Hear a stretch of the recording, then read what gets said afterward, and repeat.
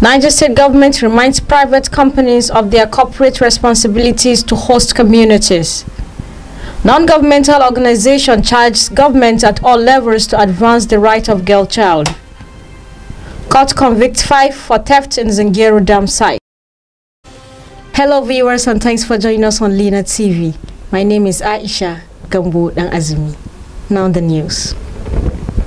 President Bola Ahmed Tinubu approved the appointment of new returning chiefs executive to fresh terms in office across multiple agencies under the Federal Ministry of Communication, Innovation and Digital Economy. In a statement issued by Special Advisor on Media and Publicity, Ajuri Ngelale, the appointment take effect, immediate effect. The appointees are EVC CEO Nigerian Communication Commission, Aminu Maida, MD CEO Nigerian Communication Satellite Limited Nkechi Igatun Idihe. DG CEO National Information Technology Development Agency Kashifo Inwa Abdullahi. National Commissioner CEO Nigerian Data Protection Commission Dr. Vincent Olatunji. Postmaster General CEO Nigerian Postal Service Tola, Tola Odeyemi. The statement further stated that in line with the Tinubu's determination to maximally leverage on Nigerians' proven technological and digital economic prowess to, to reposition the nation's economy towards greater financial inclusion. The president has approved the appointment of a new special advisor to the president, special advisor to the president on technology and digital economy, Idris Allah Alubankudi. The Minister of Information and National Orientation, Muhammad Idris Malagi, has charged federal media organizations to take advantage of technology and use their vast reach across the nation towards reorienting citizens for peace, unity, and development. The minister, in a statement by Deputy Director of Press, Federal Ministry of Information and National Orientation, Suleiman Haruna, made the remarks on the second day of the familiarization tour of the Federal Radio Corporation of Nigeria, the Voice of Nigeria, and News Agency of Nigeria under his ministry. The minister said the organizations are the nation's eyes broadcast media and the widely known and respected brands in households across the country, stating that they are the nation's news vendor and conveyor belt for good news coming out of Nigeria to the world. He added that they have made immeasurable contribution towards information and enlightening Nigerian, building bridge of cooperation across the country's diversity and contributing to democracy and national development. Furthermore, he acknowledged their efforts in engaging with global audience and providing a platform for international discussion through eight important languages, which are crucial for Nigerians' image and diplomatic endeavors.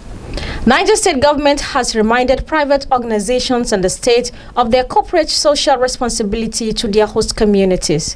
The Commissioner of Humanitarian Affairs Disaster Management, Ahmed Baba Suleiman Yumu, made this suggestion when he led management of the Ministry on Advocacy to the North-South Power Company in Shiroro Hydro Dam. Statement issued by Director of Media and Strategy of the Ministry, Habibu Shishi said the Commissioner represented by the Permanent Secretary, Barrister Mayra Muhammad Man, noted that the visit was aimed at building synergy between the Ministry and the company. Ahmed Yumu enumerated some areas that needs intervention such as constructions, renovation, furnishing of school, building of building of permanent IDP camps, provision of portable drinking water, as well as healthcare facilities, among others. The commissioner reiterates that the administration of Governor Umar Mohamed Bago will not take it lightly with any company who shy away from its corporate responsibility.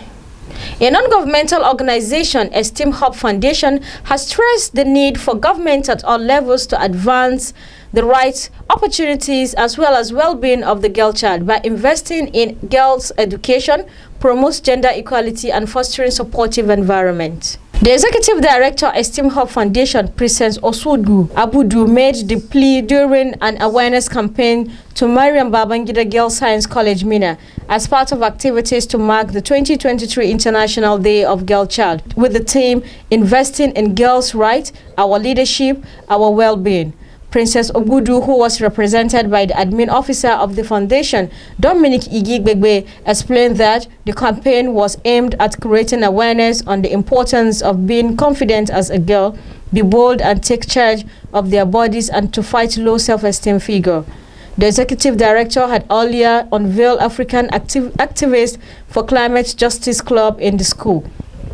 Highlight of the campaign was the distribution of learning materials to the students. Five workers of Sino Hydropower project at the Zungeru Hydropower Dam in Niger State are to share a total of six years and 10 months in a correctional facility after they were convicted and sentenced to Minute Chief Magistrate Court 1. Also, the court convicted two people for conspiring among themselves to vandalize an armored cable from the powerhouse of Zungeru Hydropower Dam.